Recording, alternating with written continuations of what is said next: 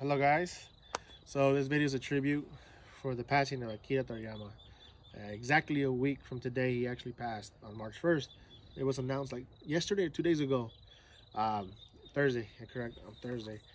Um, so sad for a goat to go. You know, I'm not familiar with all the facts, you know, but I know he was born the year of the goat and died in the year of the dragon. You know, what a way to go. Just they didn't want him to go so fast. I wanted to meet this guy, you know.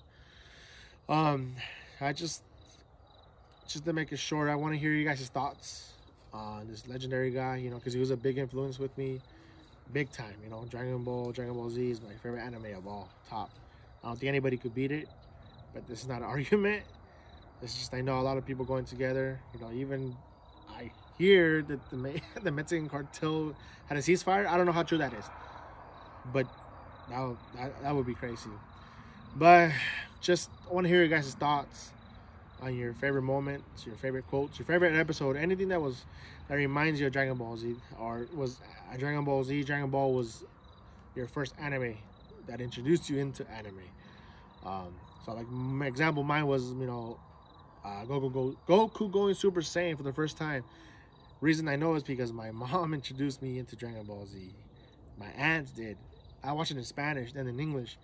So that's like my memorable moment. You know, if it wasn't for my mom, my aunts, I would never know about any kind of anime.